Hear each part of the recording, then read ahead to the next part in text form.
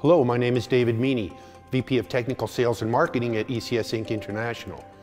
In this video, we will discuss the effects of temperature on quartz crystals and the effects of operating them outside of their specified temperature range. What are the effects of temperature on quartz crystals? To answer this question, we first need to understand the physical properties of quartz. Quartz is the second most abundant mineral in the Earth's continental crust. Its crystal structure is a continuous framework of silicon-oxygen tetrahedra. The uniform structure makes it possible for it to be formed into specific geometries that allow it to resonate at very specific frequencies. Although quartz has a very low coefficient of thermal expansion, temperature change is the major cause of frequency drift.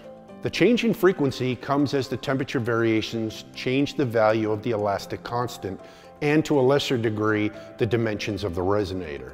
The effects of drift can be charted as a sine wave plot. With some increase in temperature, the rate or frequency will increase, but after a certain point, the rate will then decrease. This is known as quartz turnover and is a standard quartz behavior. In this figure, the x-axis is temperature and the y-axis is the frequency change in parts per million. The colored curves show different achievable stabilities over temperature based on the angle cut of the quartz. What happens if you operate a quartz crystal outside of the manufacturer's specifications? Technically, the crystal will continue to resonate. However, the effects that temperature will have on your crystal will cause it to exhibit less stability than specified ratings. Let's look at these effects. In the figure below, we have the same crystal being tested over two different temperature ranges. The figure on the left shows the effects of quartz crystal when subjected to a temperature range of minus 20 to plus 70 degrees C. As you can see, it's fairly stable, but it's exhibiting some drift as it nears the minimum and maximum of its usable temperature range.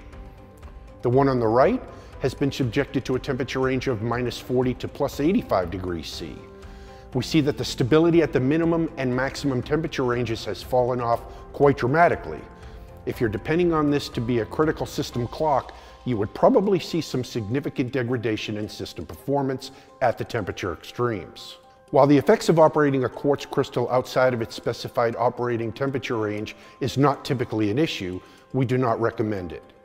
The most notable reason is the greater frequency drift that is caused by the effects of wider temperature ranges but more serious conditions may occur. Accelerated aging is a permanent change to the elastic constant in the quartz, which can impact stability as well as frequency accuracy. One of the more serious problems that can occur are activity dips. Activity dips can cause the crystal to stop oscillating completely. They can occur at specified temperatures and are typically repeatable faults. Manufacturers usually design around this problem but cannot guarantee it beyond the specified temperature range. To sum it all up, yes, you can operate a crystal outside of its specified temperature range, but it is not recommended. The best course of action is to specify a crystal based on your system requirements, know the needed temperature range ahead of time, match or exceed it. If you operate a crystal outside of the manufacturer's specs, several things can happen.